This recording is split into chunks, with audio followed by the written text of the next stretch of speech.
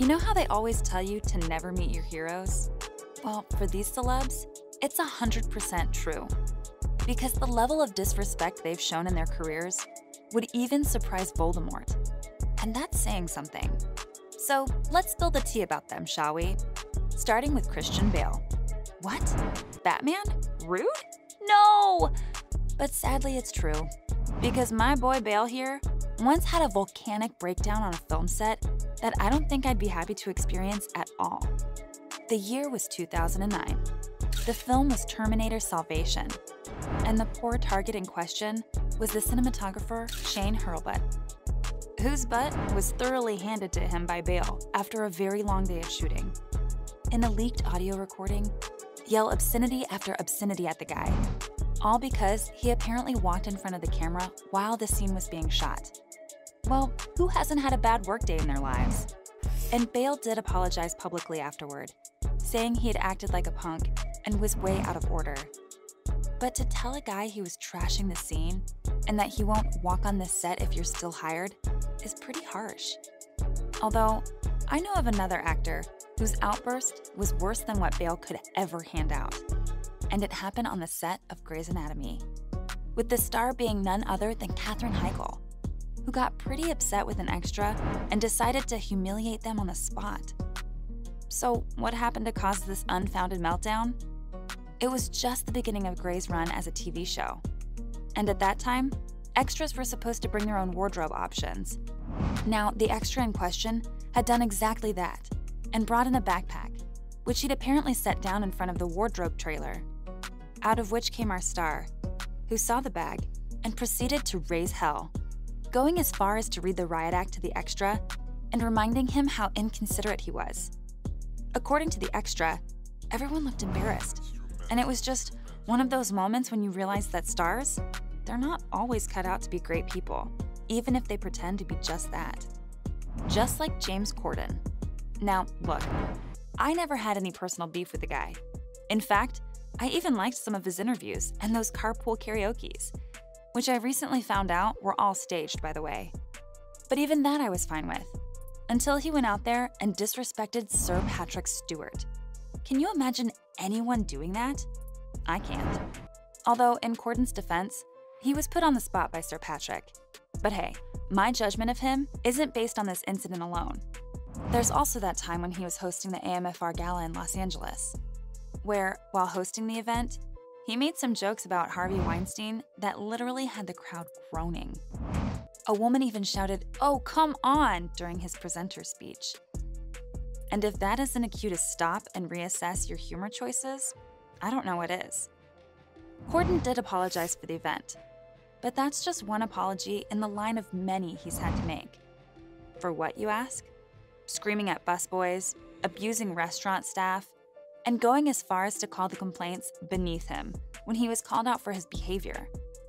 Knowing all this, at least I won't be giving him any Model Citizen Awards anytime soon. But while James isn't setting any examples for great behavior, at least he is passably okay.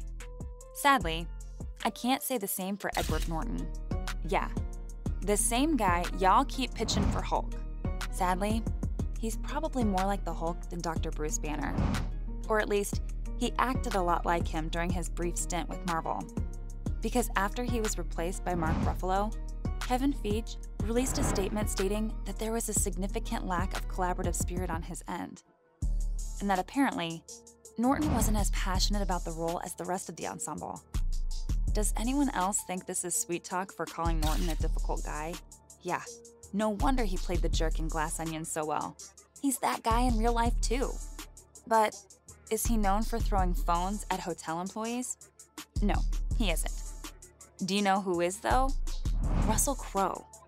Yep, the Aussie actor's reputation really isn't good in the industry, and almost everyone knows how violent he can be.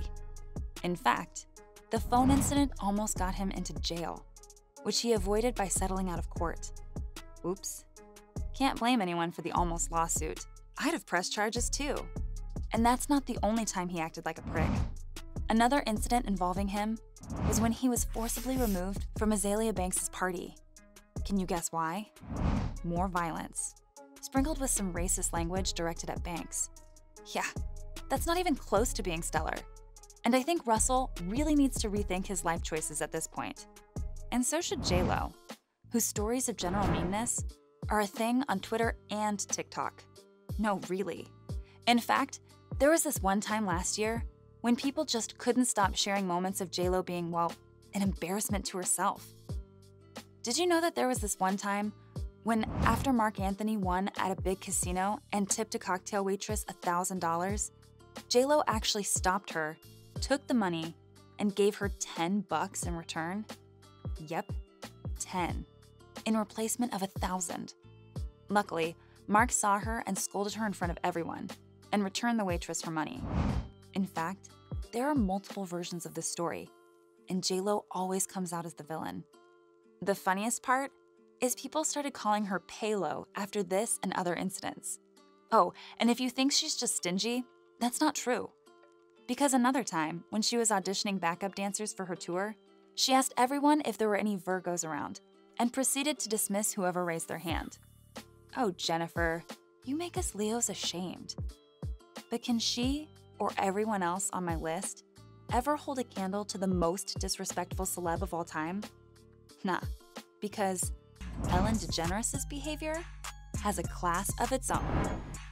From workplace toxicity to bullying and downright abuse, Ellen's name will probably come up in every rude and disrespectful celebrities list on Google.